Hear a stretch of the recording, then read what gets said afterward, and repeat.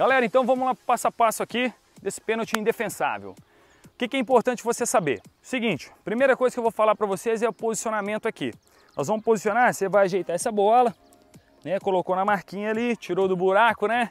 Para ficar bom de você bater. Vai colocar o pé de apoio do lado da bola e aí você vai dar passos para trás, entendeu? Você não vai ficar retinho, né? De uma forma onde você vai contar onde é que você vai bater. Então você tem que ficar um pouco de lado. Isso é importante. Por quê? Porque aí aqui, nessa batida, eu consigo direcionar a bola batendo de chapa aqui lá naquele canto, certo? E automaticamente na hora que eu pisar aqui eu consigo também virar o pé para bater no canto é, direito do goleiro, entendeu? Para me ter essa opção de enganar o goleiro. Então às vezes o que acontece? Eu costumo bater o pênalti sempre olhando para o goleiro. Eu vou correndo, olhando para o goleiro. E aí faço a batida para me ver se ele vai sair ou para a esquerda ou para a direita primeiro, certo?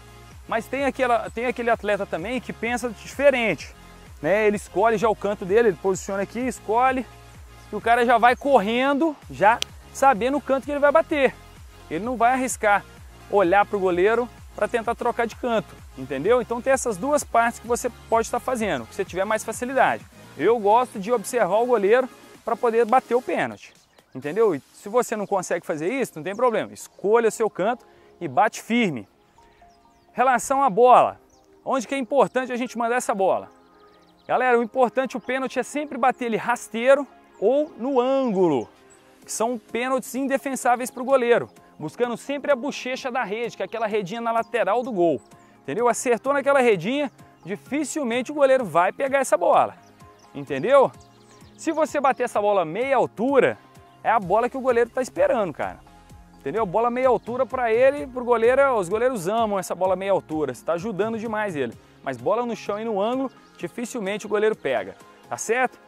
Então hoje eu vou fazer um exemplo aqui para vocês verem. Ó. Ajeitou a bola, lembrando sempre, ajeita essa bola, ok? Pede apoio do lado da bola, afastou. Você pode dar quantos passos você achar necessário.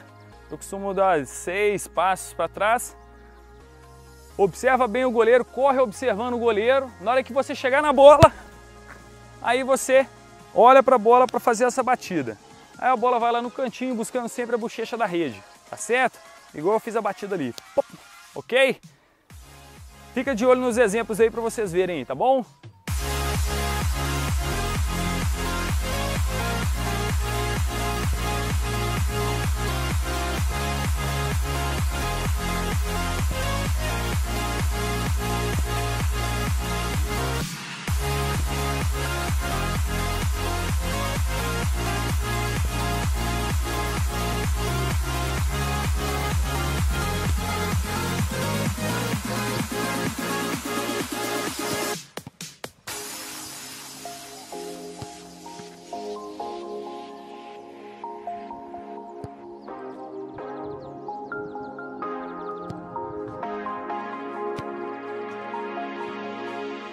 É isso aí, galera. Fechamos mais um vídeo aqui do canal Matheus Palinha. Valeu, Luizão, goleirão.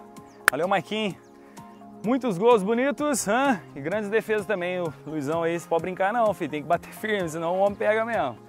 Galera, aproveita essas dicas aí, treina bastante. Eu tenho certeza que você vai superar o goleiro que você vai enfrentar aí, beleza? Fechou?